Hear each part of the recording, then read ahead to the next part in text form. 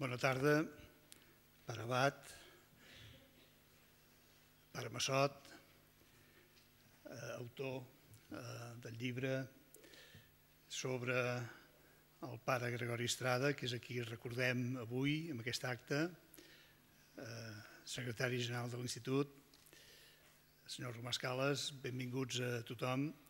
És especialment adient que l'acte d'avui comenci amb una de les peces que va musicar pare Estrada, el qual en aquest eh, institut i per, per iniciativa de la Societat Catalana de Musicologia, que ell va presidir durant un temps, ara deu fer un any, se li va fer ja un, un homenatge, un, un recordatori, i eh, entenc que hi ha dos motius, per, n'hi ha molts, però dos a afegir els que hi havia en el seu moment. Per un cantó, el fet de que hagi sortit aquest llibre, Respirar el segle, un perfil de Gregori Estrada, de Joan Tudor, que després ens explicarà eh, com era, segons ell, l'ha vist el pare Gregori, per un altre perquè en aquell acte de fa aproximadament un any es parlava del músic, del musicòleg, de l'intel·lectual, del monjo, però no hi havia música, de manera que va quedar coix l'acte, de manera que entenc que avui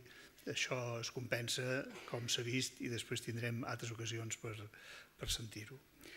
Eh, el pare Gregori Estrada, era membre de l'institut, va ser president de la filial de musicologia i era un intel·lectual i un músic complet, des del punt de vista de la música, des del punt de vista com el seu paper com a monjo de Montserrat, com a intel·lectual, ens en parlaran eh, les persones que estan avui a la taula.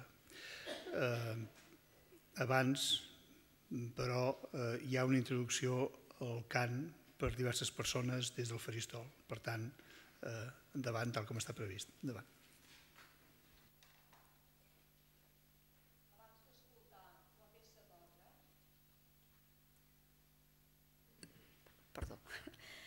Abans d'escoltar la peça d'orga, us volem llegir un fragment del llibre que avui presentem. Ens parla de la tècnica del pare Gregori com a organista i ho llegirà en Joan Casals.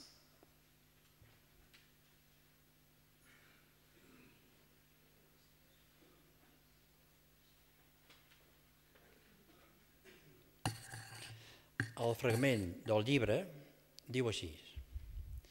Modest Moreno recordava anys després una frase que li havia dit Estrada. Si un intèrpret quan toca és sincer, saps com és com a persona, si és sincer.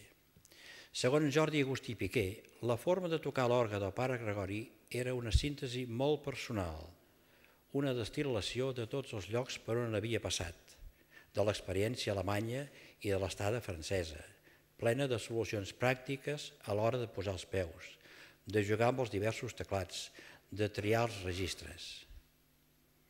Una interpretació hieràtica pel que fa a la postura, sense mirar mai el pedal. Sabia perfectament on era cada nota, en contrast amb organistes que tocaven amb tot el cos, movent-se contínuament. Gregori Estrada, en canvi, tocava amb gravetat i solemnitat, d'una manera exacta, gairebé amb no, no l'anys, paraula que no conec. Amagava perfectament l'esforç.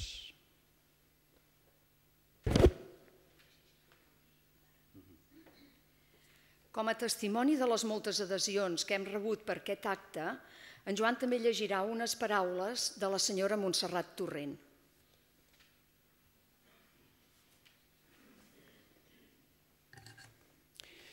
Informada de l'acte que se celebrarà el 15 de març a l'Institut d'Estudis Catalans, em dol expressar que no podré assistir-hi per estar de viatge envers Santiago de Compostela, on, a partir de demà, se celebra un congrés d'orga i hi participo en un recital. Ho lamento molt perquè el pare Gregori va ser una figura emblemàtica en la meva joventut i perdurable en la maduresa pels coneixements musicològics que va tenir a bé transmetre'm amb tanta saviesa i generositat. Prego constància d'aquesta abstenció forçada i no cal dir que desitjo que l'acte que es farà en la seva memòria sigui un èxit d'assistència i qualitat de tota mena. Ben atentament, Montserrat Torrent.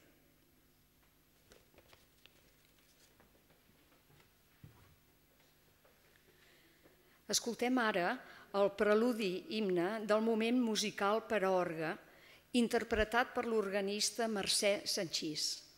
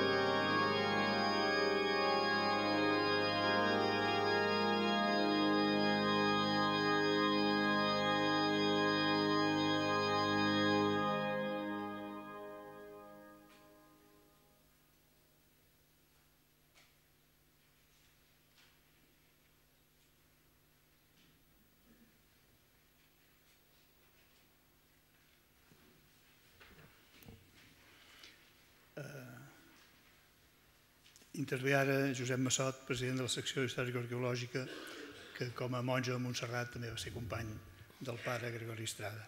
Endavant. Moltes gràcies, president. Ara fa dos anys em va tocar la, la sort, per una banda agradable i per l'altra molt trista, d'haver de fer una petita necrologia del pare Gregori Estrada en aquesta mateixa sala davant de, de tots els membres de l'institut que, que van acudir al ple. De fet, mm, ell pertanyia a, la nostra secció, la secció històrico-arqueològica, i no havíem tingut Mm, ocasió de retre-li un homenatge més ampli, llevat del que ja han esmentat que li van fer des de la Societat de Musicologia de la qual havia estat president. Per tant, estic molt content que amb motiu de la publicació d'aquest llibre en el qual m'ha tocat també de, de participar directament com a, com a editor i com una mica lector privilegiat de, dels originals. Estic molt content que gràcies a les trobades d'animadors de Can i el suport que han trobat en aquesta casa que ens sigui possible de fer un, un homenatge més, més multitudinari i una mica diferent dels, dels que habitualment fem en aquesta casa.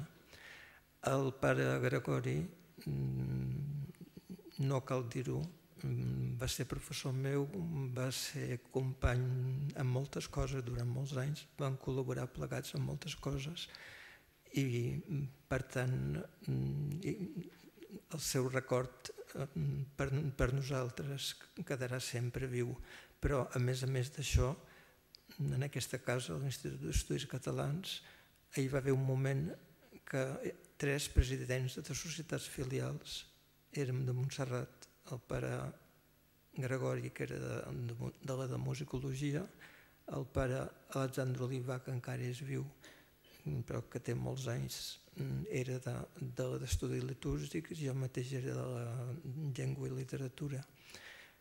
Més endavant, el pare Gregori, que havia fet molt bona feina a la Societat de Musicologia, molt sovint quan ens trobàvem al pis que tenim a Barcelona, que coincidíem de tant en tant en dies de reunió, m'explicava les trifulgues el, totes les associacions i societats i etc tenen els seus problemes, però les dels músics els tenen uh, més accentuats.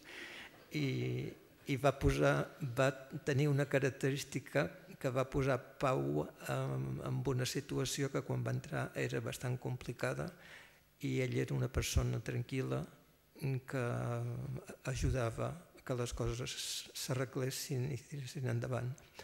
I després, quan eh, hi va haver una plaça de musicologia buida a la secció històrico-arqueològica, li van demanar que hi entrés i va ser el primer monjo de Montserrat que ha estat membre numerari de l'Institut d'Estudis Catalans. Fins aleshores n'hi havia hagut de membres corresponents, alguns de molt il·lustres com el cardenal Alvareda, però numerari, és a dir, en, en plenitud de drets, ell va ser el primer. I a la secció mm, no hi va fer gaire paper perquè molt aviat va passar a ser emèrit, és a dir, quan va complir 70 anys, i amb ell això d'anar a reunions de savis, ell no es considerava un savi, i ho escoltava amb molt de gust el que s'explicava, però no, tampoc no hi tenia un interès especial i va, pràcticament va deixar de venir, tot i que sempre seguia molt la vida de la secció quan quan hi havia mm, activitats, quan s'havien de fer votacions, sempre hi participava per correspondència i mm, fins al darrer temps que ja estava molt, molt al baix, però sempre em, em comentava com anaven les coses i em preguntava, a vegades em preguntava, etc. I per, per tot això, doncs, mm, tant, tant com a president de la seva secció com, com a company de Montserrat, com, com a editor del llibre, mm, agraeixo molt a totes les persones que han eh, permès i que han intervingut en aquest acte. Agraeixo molt també al pare Bac que hagi volgut venir. i tots els que canteu en, també que hi doneu un, un, to diferent de l'habitual mm, crec que tot això val la pena de remarcar-ho i de, de, de donar-ne gràcies estant contents i de la resta de coses del llibre, etc etc ja us en parlaran altres persones, jo prefereixo deixar-ho estar encara que podria, podria dir-ne podria dir moltes coses, però eh, no vull repetir-me amb el que segur, segur que diran eh, amb més coneixement de causa a altres persones. Doncs moltes gràcies per la vostra assistència i moltes gràcies en nom dels companys d'aquí i d'allà del pare Gregori.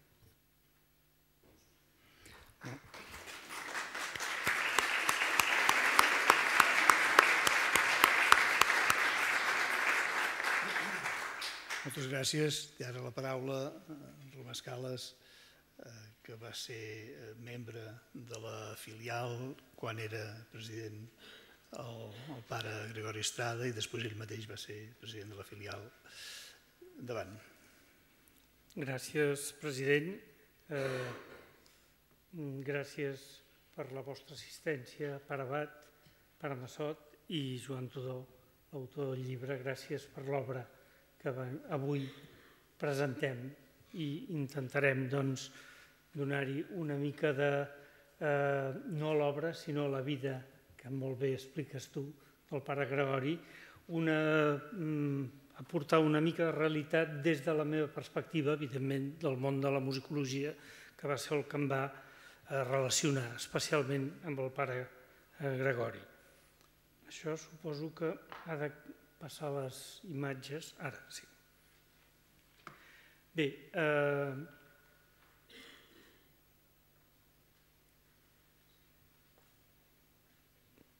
la meva primera trobada amb el pare Gregori va ser els cursos que vaig organitzar, el primer curs que vaig organitzar el 1965 a Montserrat, un curs de música antiga amb instruments antics que en aquella època bàsicament eren les flautes i aquests cursos van tenir una continuïtat gràcies al eh, suport de, i la promoció que es va fer d'aquest primer curs des de l'abadia i eh, van tenir l'encert de poder després continuar amb els cursos de mm, música antiga de la Generalitat.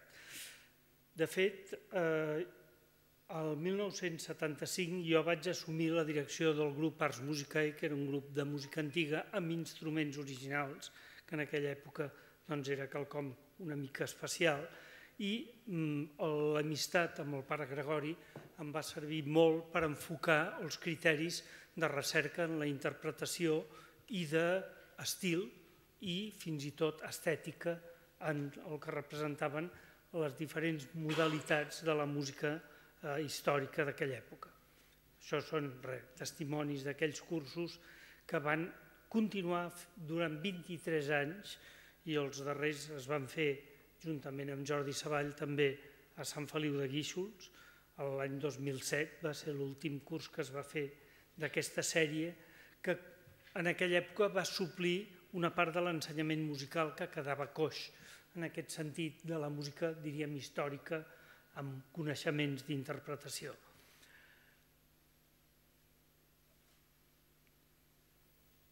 Bé, això és una llista de dades, no cal eh, llegir-la. El que sí que és important és que quan el pare Gregori, el 1974, amb una reunió semiclandestina, funden la Societat Catalana de Musicologia, que després, per eh, voluntat i petició del, del doctor Ramon es va integrar a l'Institut d'Estudis Catalans com a filial i el pare Gregori en aquesta època doncs, ja estava de ple en els seus treballs de recerca musical i ens va comunicar també unes noves, com ha dit el pare Massot, línies de recerca i aires procedents doncs, de la seva formació en, a Alemanya i a França.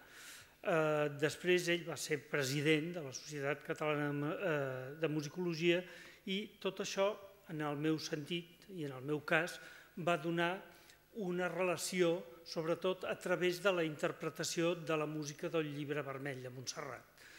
Eh, aquesta, aquest, aquest diàleg que va començar de fet als 70s, 75, 76, es va eh, complementar amb un diàleg de records d'infància personals de llocs comuns, perquè ell, eh, hi ha qui diu que havia nascut, d'altres que va ser ja a la seva infància, es va traslladar a viure al Mas Rossinyol, una masia que era de la família Estrada, i que eh, es deia Mas Rossinyol perquè un antecessor del pare Gregori era Francesc Gamisans i Rossinyol. Per tant, doncs, ell eh, pertanyia a la nissaga aquesta dels Estrada, és una masia que està al terme municipal de Monistol de Calders i aquesta masia va tenir la particularitat quan ell, eh, a una edat molt, ell va dir als 7-8 anys més o menys, el van portar en aquesta part que veiem des de darrere, la façana sud, veiem un turonet que hi ha darrere que es deia el turó de la Perdiu, i el van portar un dia en aquest turó i li van dir, veus aquelles pedres que es veuen allà al fons, que era Montserrat, doncs demà vindrà una tartana i et portarà a Montserrat com a escolar. I això, de fet, la, la mare havia quedat vídua, es va vendre la masia i el meu avi va comprar aquesta masia i va ser també la masia de la meva infància. Amb una casualitat que quan jo vaig començar a interpretar peces del llibre vermell, l'any 72 vaig fer un concert a la capella d'aquesta masia amb obres del llibre vermell de Montserrat, encara sense haver eh, arribat a les conclusions mm, musicològiques del pare Gregori. Conclusions que es basaven en una nova lectura. Ai, sí, bé, ja està. Això és el butlletí de la Societat de Musicologia. Anem endavant. Era una nova lectura de les partitures, de la música, de la notació del llibre vermell, que estava basat en que hi havia uns signes que ell interpretava com a signes coreogràfics i a més hi havia tota una sèrie d'indicis que també indicaven que no només parlava de la melodia i, la, i el ritme, aquella notació musical, sinó que també ens trametia un missatge coreogràfic corresponent a la forma com es dansava, perquè, a més, a totes les, gairebé totes les obres del llibre vermell està especificat que eren a Vall Rodó, excepte el Ad Mortem Festinamus, però que tots sabem que és la dansa de la mort, per tant ja no calia posar-ho. En tot cas, el pare Gregori va detectar aquests signes i en va començar a elaborar una teoria. Bé, perdó, això és un document que ell em passa els primers eh, les primeres informacions sobre aquest, eh, aquesta nova visió del llibre vermell i em demana que no em faci difusió perquè espera publicar-ho. Eh, es basava doncs, en aquests eh, indicis que ell deia que eren els valors de les notes i alguns símbols, especialment hi havia un símbol que era molt curiós, n'hi havíem discutit molt, que era la, la breu, que es diu, o brevis, seguida d'una mínima, i la mínima en punt. O sigui, una breu, una mínima i un puntet.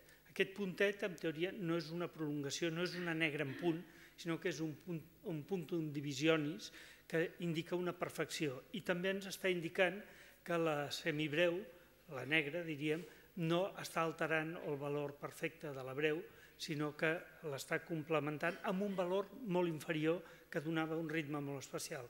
Això, a l'acabar la primera frase, que és aquest primer tram que veiem d'unes 1, 2, 3, 4, 5, 6, 7, 8 notes, el puntet es substitueix per un guió vertical. Aquest guió vertical és un signe que ell interpretava ja com a coreogràfic, que vol dir donar la volta. Això vol dir que per explicar-m'ho, una vegada venint de la catedral fins a l'institut, vam haver de donar la volta tres o quatre vegades i no aconseguíem mai arribar a l'institut, perquè, és clar, a mitja explicació, mitja volta i tornàvem enrere cap a, a la catedral. Bé, en tot cas, això finalment va ser el, mm, aquesta pista i moltes altres va ser el que va donar la base de el nou, eh, la nova versió del llibre vermell ja instrumentada per tocar-ho amb el grup de música antiga Ars Música, l'Escolania cantaven, dirigida per Irineu Sagarra, i després, doncs, evidentment, hi havia uns dansaires, que era l'Esbart dansaire de Rubí.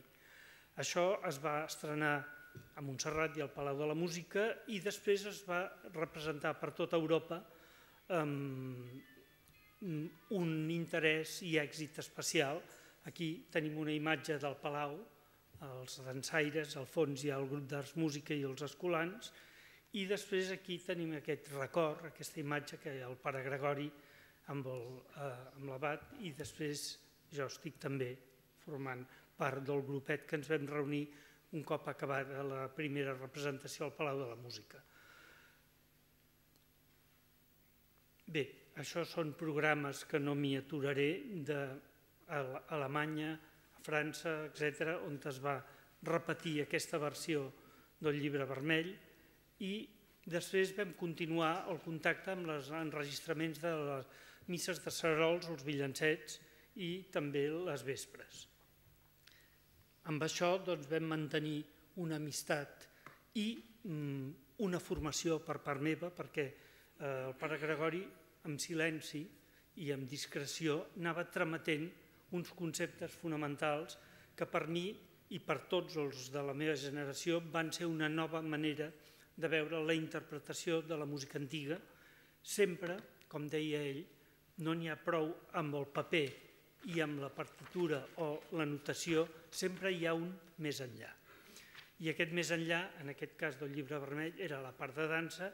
També un aspecte molt important que ell insistia molt era que tant en la polifonia com en la dansa la necessitat de precisió en la notació era indiscutible, per tant, si hi havia dubtes era que no ho sabíem llegir, però no hi havia errors i hi havia conceptes molt clars per indicar els ritmes, tant si eren perfectes com imperfectes, binaris o ternaris, etc. i les voltes, i el pas endavant, el pas enrere i el saltiró, que això era molt important. I després que, evidentment, el caràcter de l'obra tenia que sorgir d'haver entès el sentit místic i estètic del text i de la melodia, però mai de les dues coses per separat, sinó que es complementaven i a partir d'aquí doncs, podries, això es podria aplicar en qualsevol feina de recuperació de música antiga eh, i de música històrica. I aquesta visió, com ha dit també el pare Massot, és molt important entendre que sorgia del seu caràcter, però també de que estava opinant un compositor, un gran intèrpret, com a organista també, i al mateix temps un investigador. Aquests tres factors van enriquir la, el nostre contacte amb ell, el nostre aprenentatge i van enriquir la musicologia, a, a més de posar pau a Catalunya i eh, a totes les generacions que hem pogut eh, gaudir d'aquest llegat musical del pare Gregori. Gràcies.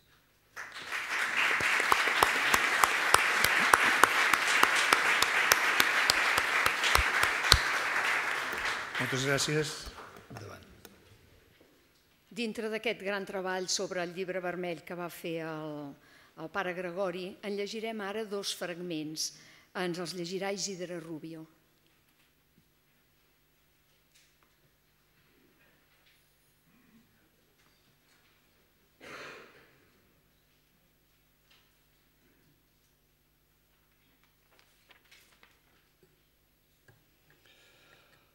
Es tractava d'examinar aquells signes que s'havien considerat errors de copista, a partir dels quals el pare Gregori havia construït una hipòtesi sobre la posició teòrica dels peus a cada moment, per determinar els moviments possibles i mirar de reconstruir com haurien pogut ser aquelles danses perdudes.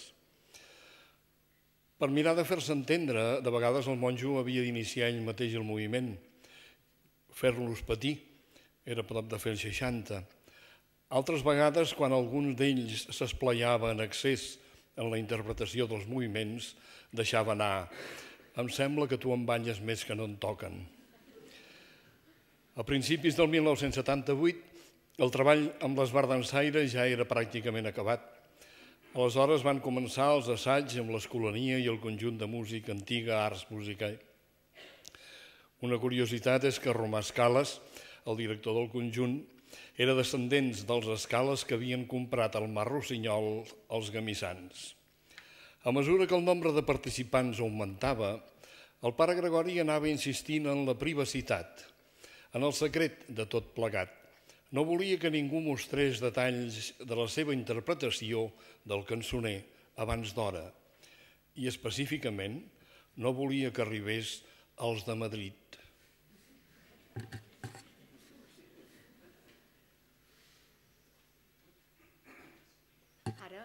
ara com que tampoc no, no hem de ballar ni podem ni en sabem, eh, cantarem el Maria Matre, tot i que la versió no és la del pare Gregori perquè encara no ha estat editada.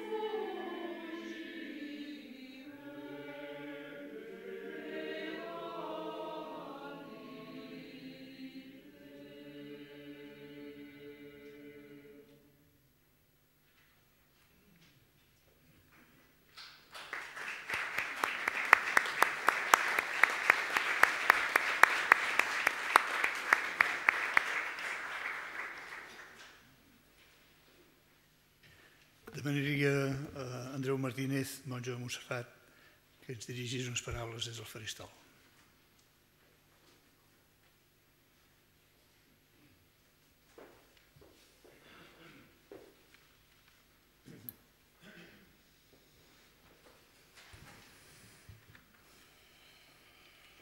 Senyor president, moltes gràcies. En nom dels components de trobades d'animadors de camp per a la litúrgia, aquesta obra del pare Gregori, que encara avui segueix el seu camí, us puc dir que ens sentim molt complaguts d'haver promogut aquest acte.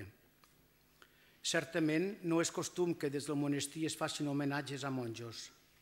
Tanmateix, l'any 2015, durant les trobades de l'estiu, vam organitzar una exposició que portava per títol Recordant el pare Gregori i vam encarregar a Joan Todó el llibre que avui presentem a tres dies del segon aniversari del seu traspàs. El 2016 vam dedicar molts esforços a la publicació del llibre El diumenge a Montserrat, Cants per a l'Eucaristia. I encara a les trobades de l'estiu vinent dedicarem l'estona de la ponència a recordar els seus diversos perfils. Som conscients que tot això ho fem i continuem fent-ho per un cert egoisme, sí. El pare Gregori no ho necessita i de fet no ho voldria. A nosaltres, en canvi, tenir-lo present ens ajuda per poder continuar el nostre compromís amb les trobades, perquè hi creiem i ens estimem. volem recordar d'on venim i on anem. D'altra banda, com a societat, és bo que recordem persones en l'actitud de treball, en l'actitud i treball de les quals ens podem emmirallar. Les seves músiques sonen cada dia a Montserrat, estan presents a les nostres trobades d'estiu i generals, al repertori de moltes parròquies i corals. No ens cansem d'agrair tot el que hem rebut del pare Gregori i desitgem seguir el seu mestratge. El nostre agraïment a l'Institut d'Estudis Catalans que s'hi ha volgut sumar, al pare Abat el seu suport, i al Joan Todó aquest respirar el segle que, com ell diu, pot ajudar a conèixer el pare Gregori i obre el camí a un treball més exhaustiu. I a tots vosaltres la vostra assistència i els vostres cants. Gràcies a tots.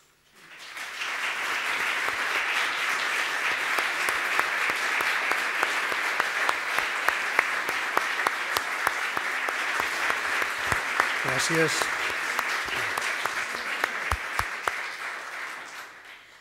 Com a monjo, gairebé un 100% de la composició musical del pare Gregori va ser música per cantar a la litúrgia.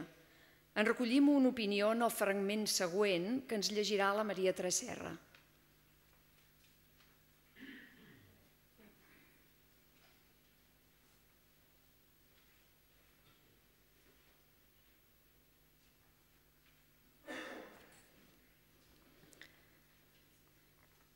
De fet, segons Jordi Guàrdia Romeu, es tracta d'una música conceptualment gregoriana, tota ella al servei de la paraula i del sentit de la paraula, que és paraula de Déu, i concebuda per al moment en què serà cantada, per al context litúrgic on té tot el seu sentit. Tot i semblar difícil d'aprendre, de fet, el que és difícil és d'oblidar-la un cop apresa. Aprendre un cant seu requereix, això sí, sortir de la zona de confort per agafar un camí més estantís. Suposo que Guàrdia Romeu es refereix a un camí menys fressat. Com la vida, que val la pena ser viscuda. La del creient que, fins i tot per camins tenebrosos, avança sense por, sabent que el Crist és a prop seu.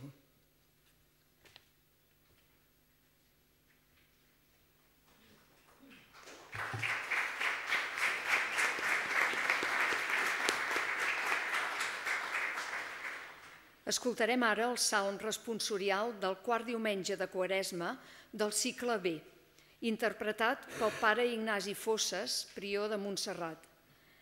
Qui ho vulgui s'hi pot afegir a mitja veu a la resposta.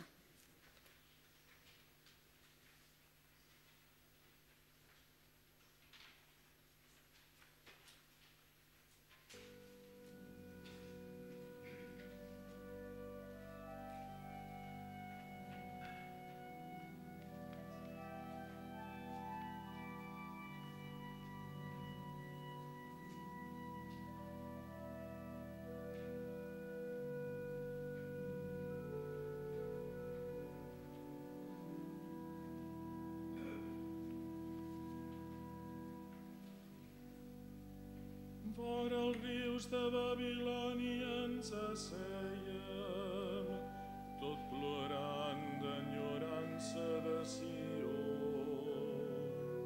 Teníem penjades les lires, els salts escaiar la ciutat.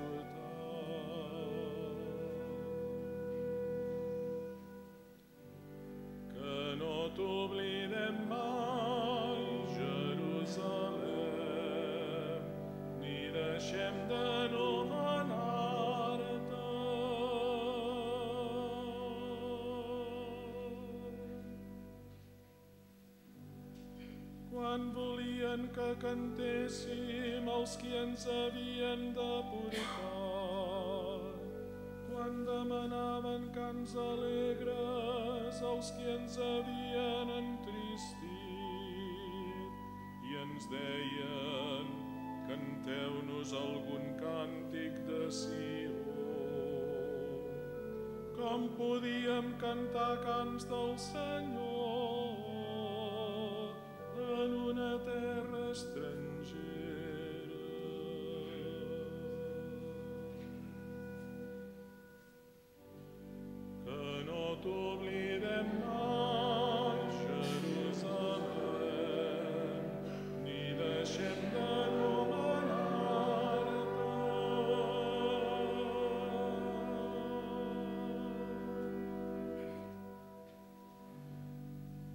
mai t'oblidava Jerusalem, que se'n paralitzi la mà dreta,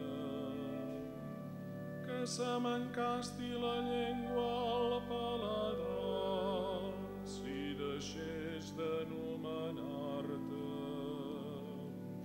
si deixés d'evocar el teu record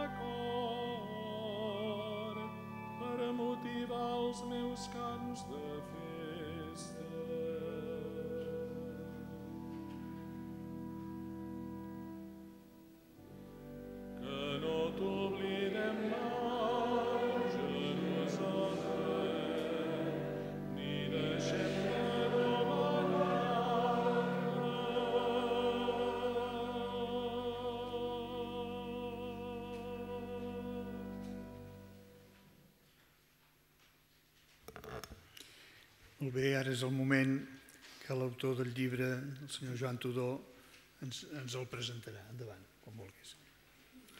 Uh, bona, bona tarda. Uh, jo seré, seré breu, deixant a banda que, que cantant i parlant i, i llegint i seré prou estona, uh, jo porto un constipat terrible.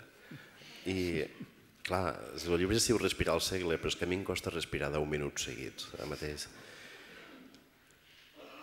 A banda d'això, també passa que, que estrictament més que presentar el llibre o més que presentar el pare Gregori, aquí el que faria falta seria presentar-me a mi, perquè, perquè vosaltres ja sabeu qui és i molts, molts de vosaltres segurament ho sabeu millor que jo.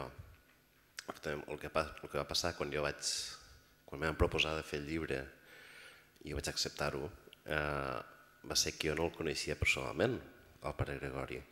Eh, el llibre mateix ho explico, havíem coincidit un parell de vegades allà al meu poble, a la Sènia, però no, no havíem parlat. Um,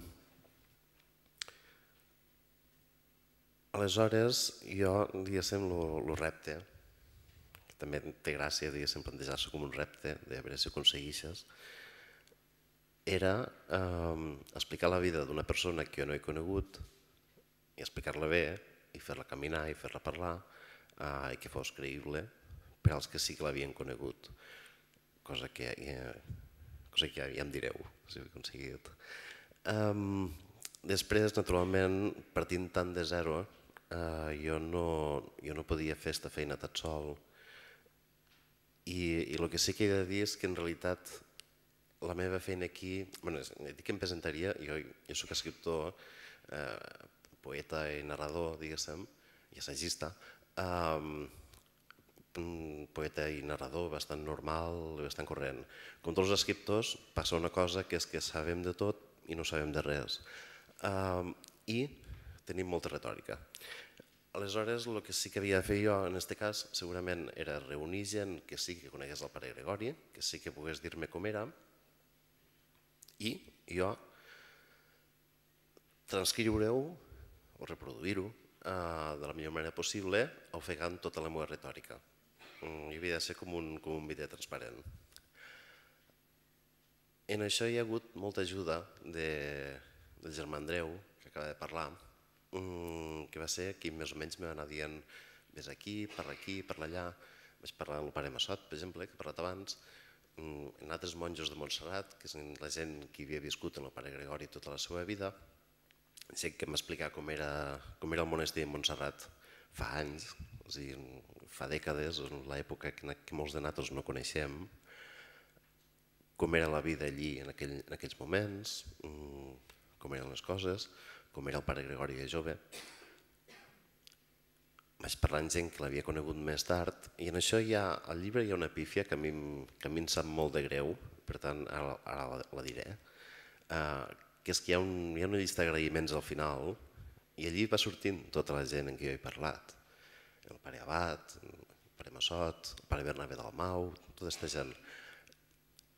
Però en el moment que fèiem aquella llista d'agraïments, que va ser cap al final del llibre, quan el llibre ja estava acabat, eh, vam deixar el Jordi Agustí Piqué. Eh, el Jordi Agustí Piqué, que és un monjo de Montserrat, eh, vam estar un, una tarda, doncs, una o dues hores parlant, i ell m'explicava moltes coses sobre la música que componia el pare Gregori, que és un fragment que ha sortit abans, almenys allí ha sortit i a més ha sortit com ho dir ell. Uh, ha passat això. A banda de gent de la comunitat, també vaig parlar en, en familiars.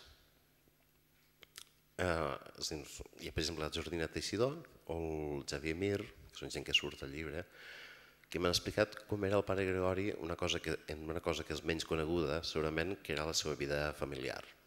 Mm, naturalment, és un monjo, viu allà al monestir de Montserrat, avui en dia surten més que no abans, però viu separat. Uh, però ell té una família, tenia un, un pare, una mare, unes germanes, un germà i una sèrie de nebots. Mm, antes pues, he conegut aquesta gent i el que sí que he descobert és que a banda que jo no, jo no coneixia el pare Gregori i una sèrie de gent que el coneixia millor que jo perquè l'havia tractat, molta d'esta gent que jo vaig parlar eh, no es coneixia entre si. És a dir, el que m'està explicant a la gent, per les dues bandes, són els familiars que ben bé tenien una idea molt nebulosa de com era la vida del pare Gregori allà dalt, i per altra banda, dins la comunitat, que tenien una idea molt nebulosa de que si el pare Gregori tenia uns parents per allà per Barcelona, que no sé què.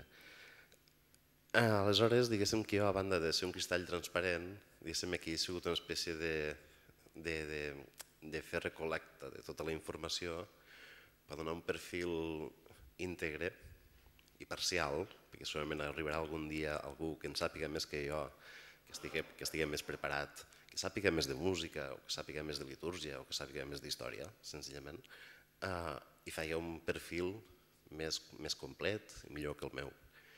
Però diguéssim que jo, en tot això que he fet, que havia de ser un simple, un simple escrivent, eh, diguéssim, jo he intentat, com a mínim, que aquesta persona que vingui algun dia, que estigui més preparada que jo, eh, tingui una sèrie de materials de primera mà que potser aquella persona no tindrà a l'abast. Jo he tingut a l'abast eh, cartes, o he pogut parlar amb gent d'una certa edat, o he pogut parlar amb gent, eh, o amb gent que el va conèixer d'entrada, que pot ser aquella persona d'aquí 20, 30, 50 anys que estigui interessada per la vida de Montserrat al segle XX o per la música catalana al segle XX o per o senzillament per la figura del pare Gregori Estrada, um, aquí diguéssim que ja té per començar a buscar. I per exemple, clar, és a dir, vosaltres heu sentit per una banda l'explicació que dono jo al llibre sobre el llibre vermell, per l'altra banda heu sentit l'explicació del, del Romà Escales. Uh, jo estava patint molt perquè no estic segur d'haver sabut explicar bé en què consistia l'edició del llibre vermell. Entonces, quan arriba algú que, que sàpiga de música més que jo, que sóc un simple melòman, eh, diguéssim que sortirà una nova versió d'aquest llibre que serà molt millor que la meva. És així. Moltes gràcies.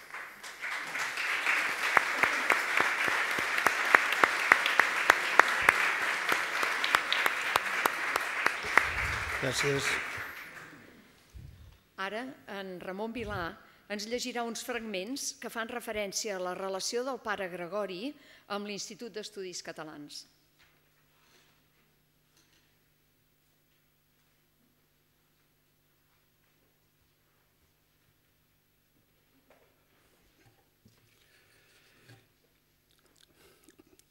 El pare Gregori Estrada no era, estrictament parlant, un musicòleg, ell mateix es declarava autodidacta. No havia fet la carrera i si ens ho miréssim d'acord amb els criteris actuals de validació universitària, més pendents del nombre de publicacions, si pot ser en revistes d'impacte, entre cometes, amb prou feines guanyaria cap plaça. Malgrat tot, el 1979 mateix, els seus coneixements sobre el món de la música li van valer el càrrec de president de la Societat Catalana de Musicologia, filial de l'Institut d'Estudis Catalans. La societat havia nascut el 1973 a proposta de Miquel Carol, Miquel Altisent, Francesc Bonastre, Montserrat Albet i Manuel Mundó. Carol va ser-ne el primer president, substituït pel pare Gregori arran de la seva dimissió. Estrada, en realitat, sempre havia assistit a les reunions i havia fet diverses ponències sobre el Vall Rodó, sobre el Llibre Vermell, sobre l'Orga de Montblanc o sobre Monteverdi.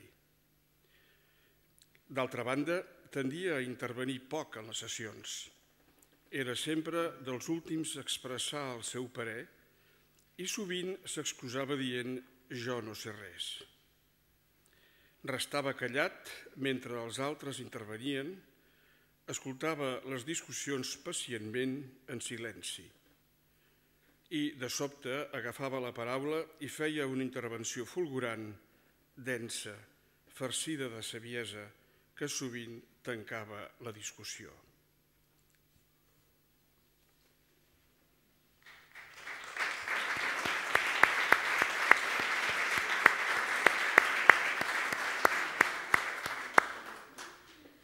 Estem molt contents de celebrar aquest acte a la seu de l'Institut i els agraïm molt l'estima que demostren envers el pare Gregori. Tot seguit, cantarem una de les darreres composicions del pare Gregori que va fer a petició dels bogistes de Tarragona.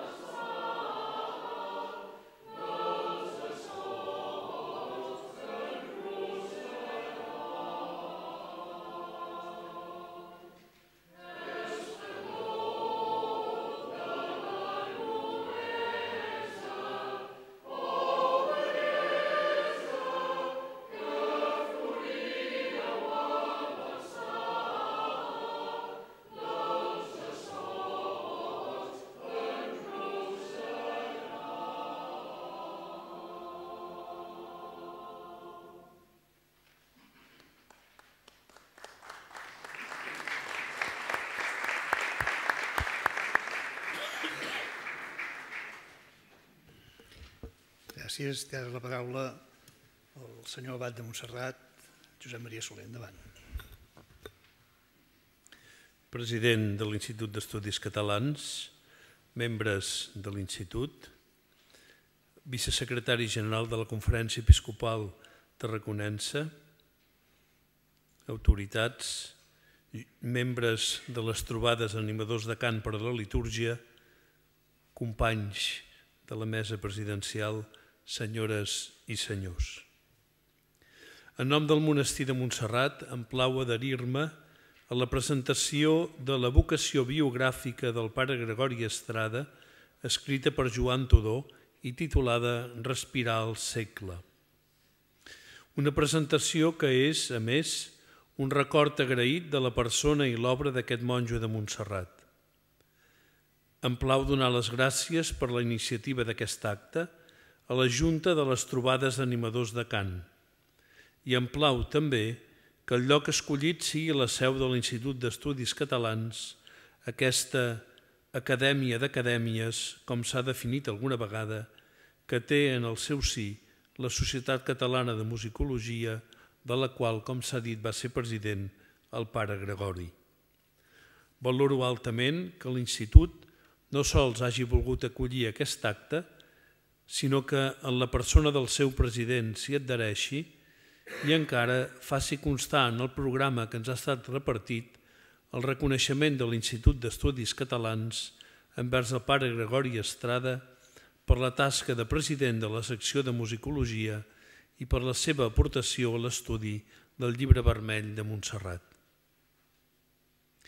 He de dir que em va cridar l'atenció que Joan Tudor, l'autor del llibre, l'encapçalés amb uns versos del poema de Montserrat de Josep Maria de Sagarra.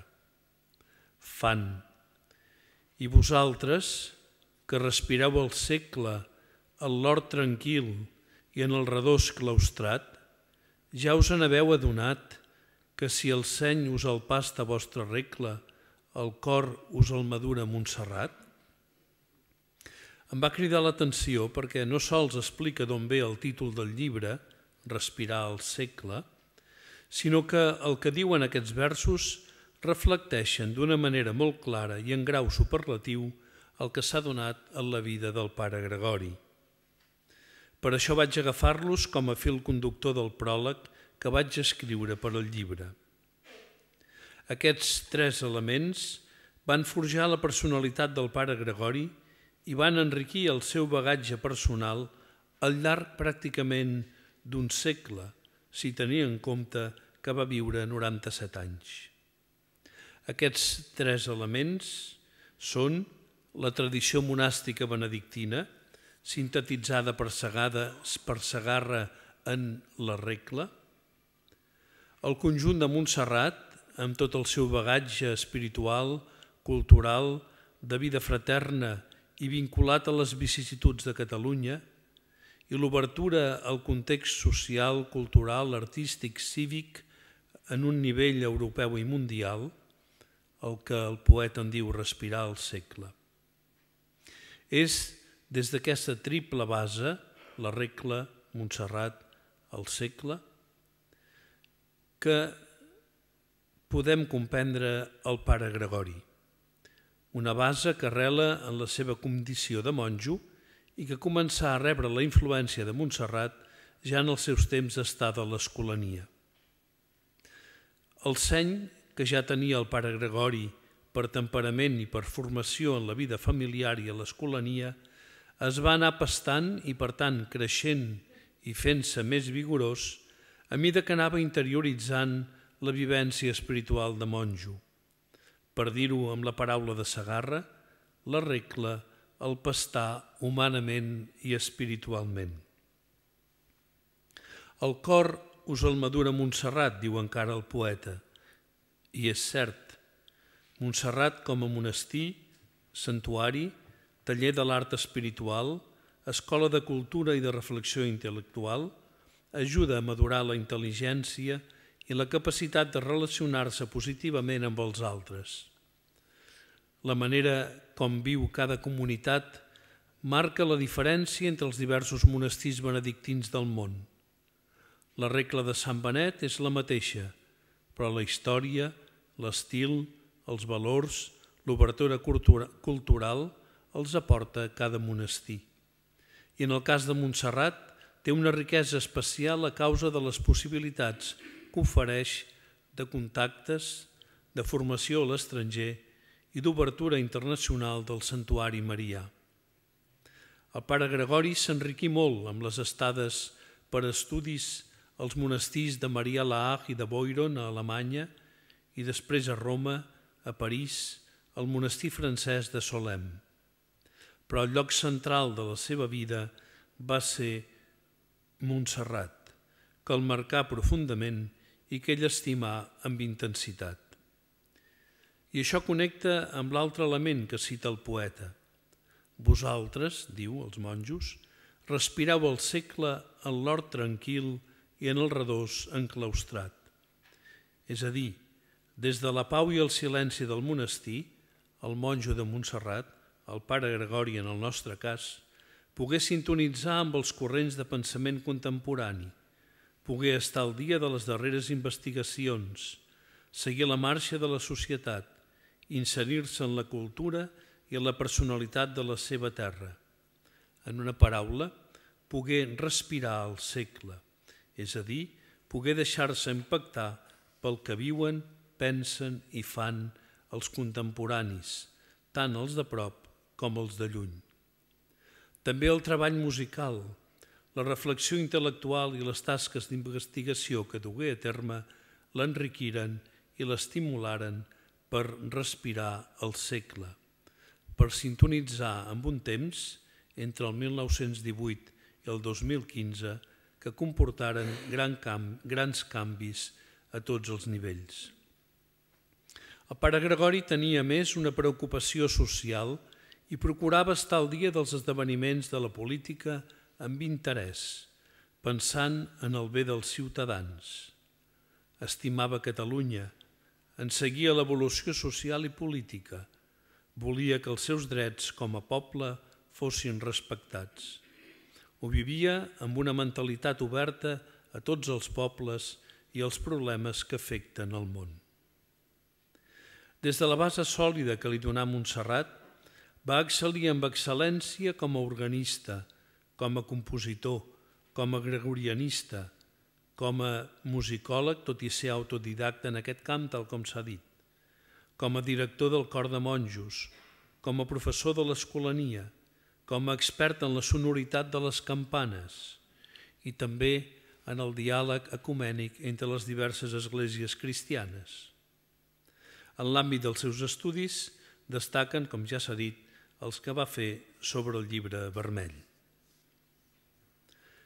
Conscient de les necessitats que hi havia en l'àmbit de la música coral en general i en l'àmbit de la música litúrgica en particular, sostingut per la comunitat de Montserrat, establí lligams amb diverses entitats.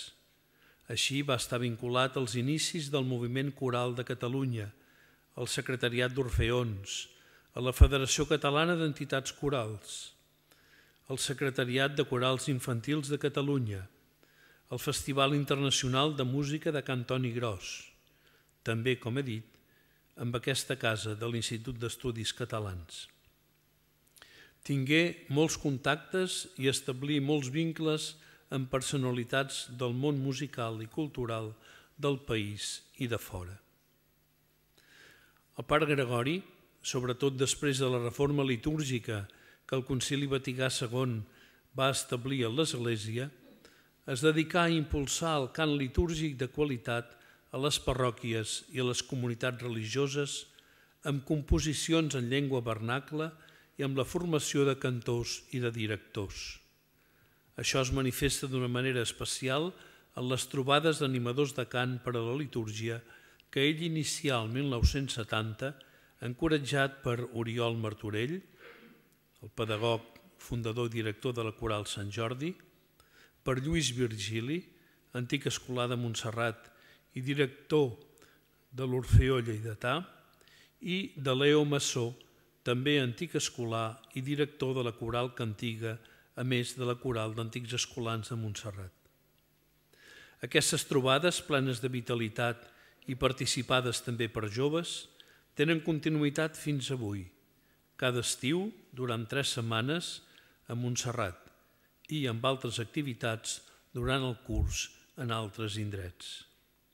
La seva missió és preparar animadors del cant que facin cantar i alhora ajudin a viure el text i la música al grup de cantors litúrgics i a tota l'assemblea que participa en la celebració.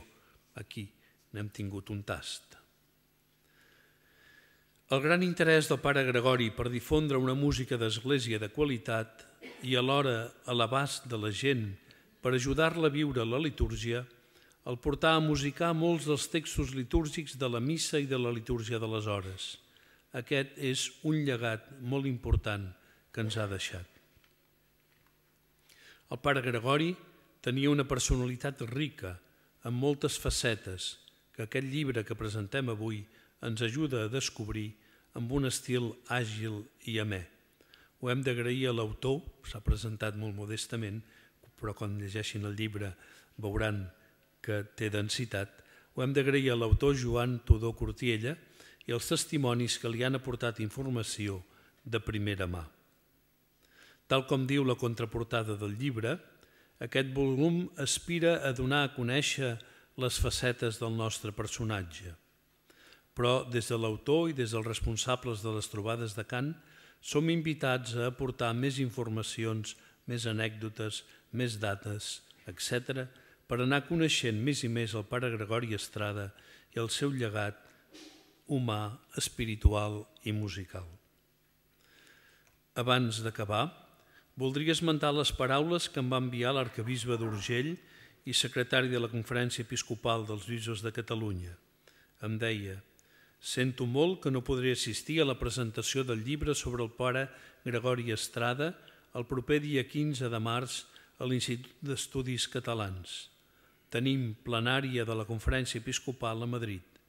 M'uneixo de tot cor a l'acte, desitjant que sigui un homenatge al qui fou gran músic i animador de cants, excel·lent persona i bon monjo. Joan Enric Vives, arcabisbe d'Urgell. L'acte d'avui i el contingut del llibre ens fan possible, parafrasejant el títol del volum, respirar també nosaltres el nostre segle XXI, ajudats pel testimoniatge del pare Gregori. Moltes gràcies.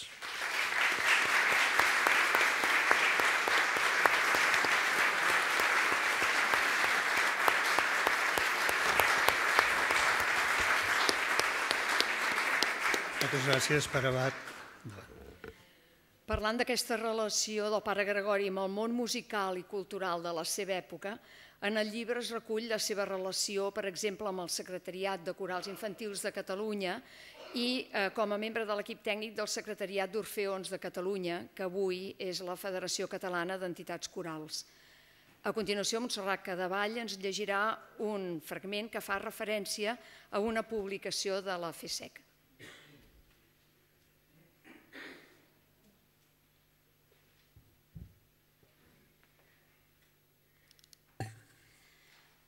El 2007, l'any que celebrava els 75 anys de la seva professió monàstica, va aparèixer el llibre Pregàries de la litúrgia cantades en cànon, un conjunt de cants litúrgics compostos pel pare Gregori. Va ser, com sempre, una tasca d'elaboració llarga. A cada versió del llibre, el pare Gregori afegia canvis, correccions. Eren peces compostes al llarg de tres dècades que havia anat refent i polint. Ja quan assajàvem les monges de Sant Benet o amb els animadors de les trobades, no s'estava de corregir algun detall comentant «Són pecats de joventut». Fins i tot s'havia trobat que, de vegades, no hi havia manera que els cantaires encertessin la nota que ell havia posat, que en cantaven una altra, i havia corregit la partitura afirmant «El poble sempre té la raó». En la presentació del llibre, Ramon Vilà i Herms va fer una caracterització de la música composta per Gregori Estrada. Una bona part del repertori litúrgic en català que es canta a Montserrat, tant de l'ofici diví com de la missa, ha estat obra d'ell. La seva manera de composar expressa la seva espiritualitat i la manera d'extreure de cada mot, de cada frase, la seva musicalitat.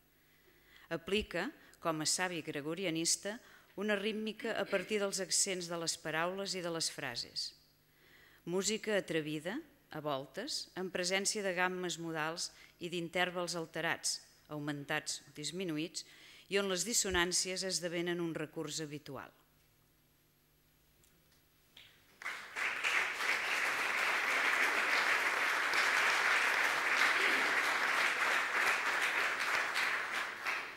A continuació...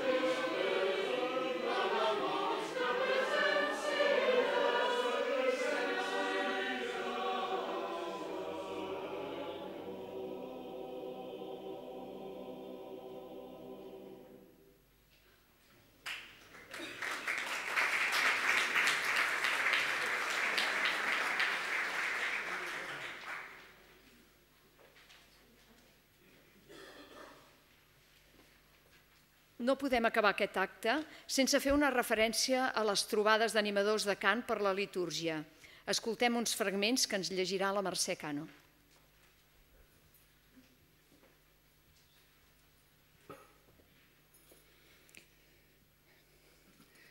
Organitzar les trobades era, en el fons, obrir la torre d'Ivori per deixar-hi entrar tothom que hi tingués interès i permetre que observessin els seus estris, que descobrissin els seus trucs, que li ensenyessin coses, fins i tot que li duguessin la contrària. Un projecte en el qual no s'hauria aventurat qualsevol músic, probablement ni tan sols ell mateix uns anys abans. La seva pròpia forma de dirigir era exigent i alhora delicada. Donava el to amb un diapasó cromàtic, amb una llengüeta per a cadascun dels tons de l'escala. La seva frase més habitual era «Molt bé, però tornem-hi». Era la seva estratègia principal, repetir i repetir. Sense escarafalls, sense perdre el bon humor, perfeccionista però pacient. Et feia repetir la cançó fins que sortís bé. Igual que sempre va esquivar la maledicència, evitava la crítica directa, quan avisava que l'orga s'apuja, calia mirar de recuperar l'afinació. O quan indicava per aquest costat se sent una melodia molt bonica, però no arriba a ser aquesta.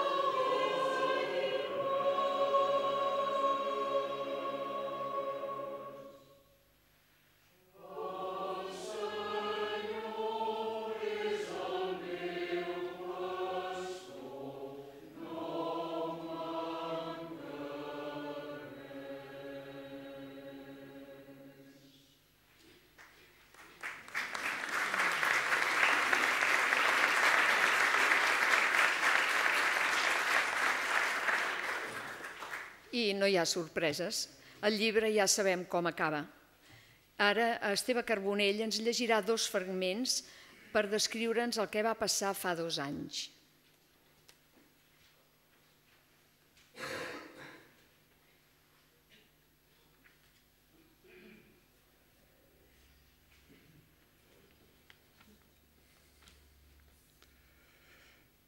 A principis del 2015 va patir un refredat amb una infecció respiratòria i va fer una forta davallada.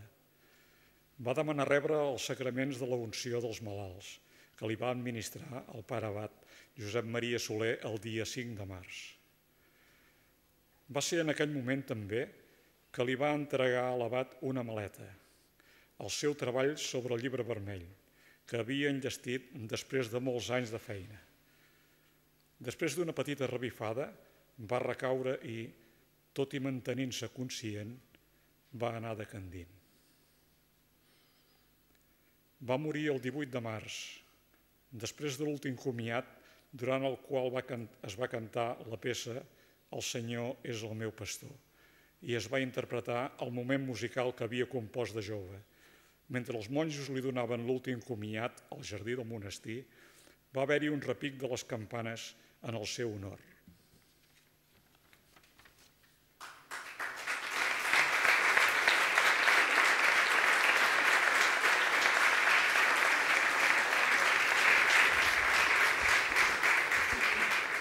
Moltes gràcies a tots vostès per la seva assistència, gràcies a les aportacions que s'han fet des de la taula i des del públic. Moltes gràcies per aquests cants. Eh, no només ens han delectat les trobades d'animadors de cant per a la litúrgia de Montserrat, sinó que ara ens oferiran un tast eh, dolç, eh, malgrat aquest record trist de la mort ara fa dos anys, d'aquí dos dies farà dos anys, del pare Estrada. Estan tots convidats aquí fora. Gràcies a tots.